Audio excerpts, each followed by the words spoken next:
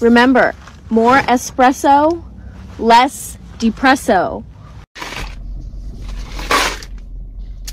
I'm still depressed, but now I'm fat.